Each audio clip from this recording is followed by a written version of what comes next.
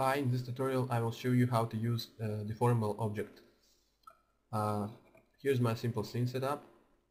Uh, I will use these bricks as impact objects, this ground and this simple animated bended, bended box as an alien object. So uh, if I will start simulation right now, uh, this uh, deformable object will not affect anyhow these bricks uh, because PhysX will capture its uh, shape at frame 0, at start frame. and so just to test. As you see it doesn't affect anyhow all these bricks. So to affect these bricks using the deformable object you have to select it, go to options, open custom properties allowed. Uh, here you need to check on the deformable unyielding checkbox and uh, use custom properties check button. Okay, uh, if I will start simulation now, that's what we'll get.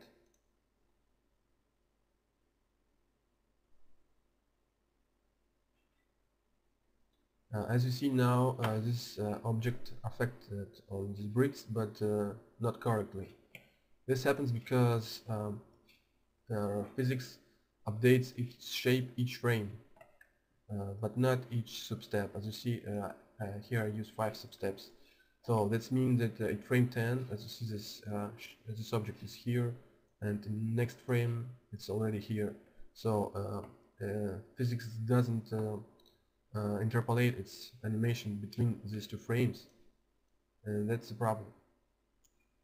to solve this problem, you need to use point cache modifier. So all you need to go to do is to select this object and create point cache modifier for it it is one uh, save it and record animation. So now I can check off bend modifier and uh, here is my cached animation. So if I will use uh, this object with point cache modifier right now I will get the same result. And that's why. Uh, as you see the simulation again not correct. So uh, it's not enough to create point cache modifier. Also you need to do is to go to playback type and set here to custom start. Uh, RayFire will uh, set custom start automatically. So if uh, right now I will set here original range I will start simulation. Uh, stop it.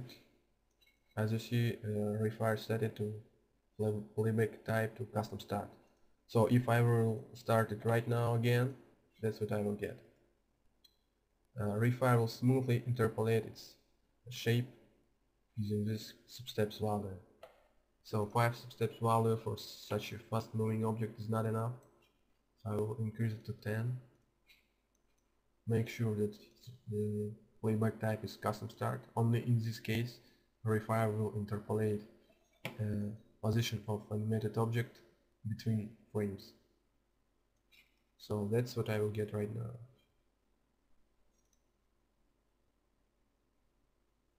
As you may notice, simulation time now is uh, increased, but uh, this is the only way to use uh, deformable object with PhysX.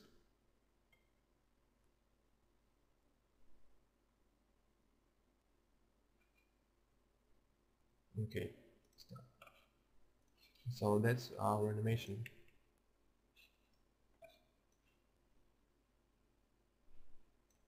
Well, now to you I will show you something more advanced. Select them, delete animation, delete this box. Uh, here's my mariner character. Here it's animation. And as you may notice between frame 22 and 23 his face moves very quickly. Frame 22 it's here and the next frame is already here. If I will use the subject uh, as you see the subject already has deformable unyielding checkbox on and use custom properties on. So all I need to add it in the unyielding object list. Uh, it's uh, I already have on cache modifier with recorded animation. I will set playback type to original range just to see uh, how it works in this case. So uh, he hit uh, the wall at frame 23 about, I will start simulation at 21. Okay, also I will select this bricks impact, only these bricks, clear this impact list, add this bricks as impact object and I will add another bricks as unyielding objects. So, and uh, these bricks I will define as an unyielding object. Uh, that's what I will get right now. Start simulation.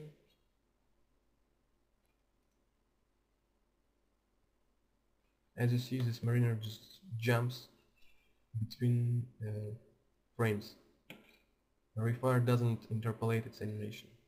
So again, to fix this, you need to select it, go to point cache modifier properties and set layback type to custom start.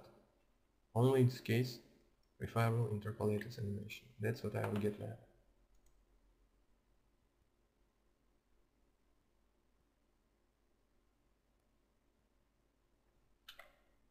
Now we can